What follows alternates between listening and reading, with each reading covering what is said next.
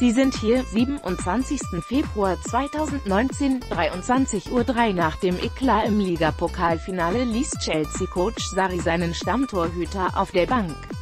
Mit Ersatzkeeper Caballero feierten die Blues einen wichtigen Sieg. Skandalkeeper Kepa saß beim 2-0-Sieg des FC Chelsea gegen Tottenham Hotspur nur auf der Ersatzbank. Cheftrainer Maurizio Sarri setzte ein Zeichen und nahm stattdessen Ersatztorwart Willi Caballero ins Team. Es ist ein Zeichen an die Mannschaft. Wir sind eine Gruppe, nicht 25 Einzelspieler, begründete Sarri seine Entscheidung kurz vor dem Anpfiff. Seine Entscheidung dürfte der Blues-Coach nicht bereut haben. Caballero blieb ohne Fehler, allerdings machten es ihm die Spurs-Stürmer auch einfach. Die Treffer für die Gastgeber erzielten Pedro 57. und Kieran Trippier 84. per Eigentor.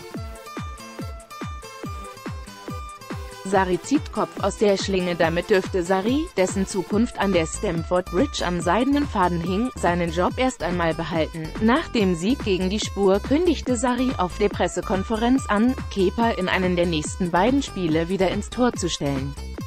Kepa bleibt meine Nummer eine, wir können ihn nicht töten wenn man jung ist, macht man Fehler. Der Italiener hatte Kepa im Spiel am vergangenen Sonntag kurz vor dem Elfmeterschießen auswechseln wollen, nachdem der Keeper behandelt werden musste. Kepa weigerte sich jedoch beharrlich, weshalb Sari ausflippte und sogar von Nationalspieler Antonio Rüdiger zurückgehalten werden musste.